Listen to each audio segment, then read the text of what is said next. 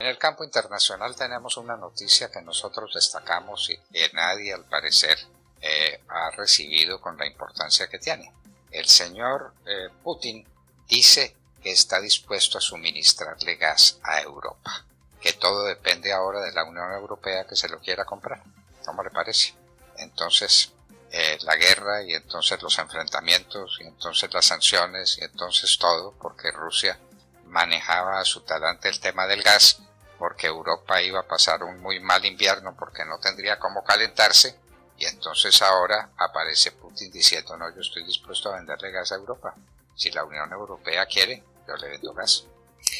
Doctor Fernando de Mar, a propósito de eso que usted está contando del gas, eh, precisamente esa propuesta viene, doctor Fernando, de una reunión que se llevó a cabo esta mañana. Recordemos que aquí ya estamos avanzado el día. En, eh, en Estambul, el presidente Vladimir Putin se reunió con Recep Tayyip Erdogan, que recordemos ha sido pues allí como el mediador entre Rusia y, Ucrania, sobre todo para desbloquear, ¿se acuerdan? Los puertos del, del Mar Negro para poder sacar el grano de Ucrania a través eh, de Turquía, pues hubo una reunión esta mañana y fue allí donde Vladimir Putin le propuso a Recep Erdogan que si en Turquía se podía hacer como una especie de centro de distribución de gas para él, pues para que Rusia pueda eh, venderle gas a, Europa.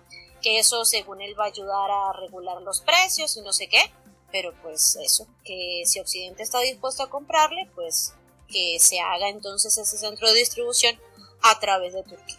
Lo que quiere decir que él está dispuesto a vender.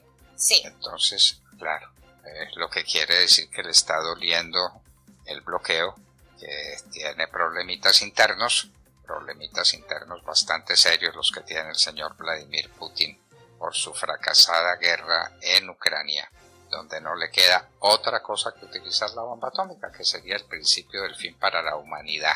No para Rusia, no para Ucrania, para la humanidad entera sería el principio del fin. Así de sencillo. Entonces, como no da ese paso, eh, se limita a lo que existe y lo que existe es que está perdiendo Cindy.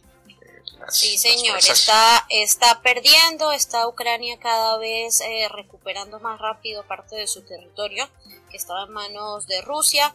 Eh, también continúa la Unión Europea, la OTAN, Estados Unidos suministrando armamento a Ucrania. Ahora, en vista, se acuerda de toda esta eh, respuesta de Putin porque le explotaron allá el puente este en, el estrecho de Kerch que une a Rusia con Crimea. Hubo esa explosión del puente el fin de semana pasado y lo que ha hecho durante toda esta semana es atacar a población civil de Ucrania y lo que ha hecho Alemania, el Reino Unido, también Estados Unidos, es enviar a Ucrania, eh, como se dice, ayuda militar, pero en tema de antimisiles, doctor Fernando, de, sistemas antimisiles para que Ucrania se pueda defender.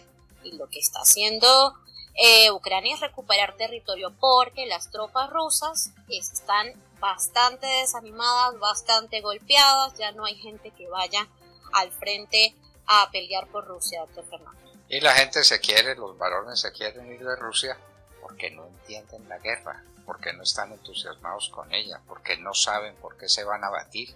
Uno está dispuesto a hacerse matar por las cosas que valen la pena. Los rusos dicen, ¿y yo qué estoy discutiendo en Ucrania? ¿Qué fui a hacer allá? ¿Por qué invadí a Ucrania? No me importa, no sé, me largo pero yo no me dejo reclutar como soldado para una guerra que no entiendo, que no me importa y por la que no estoy dispuesto a morir.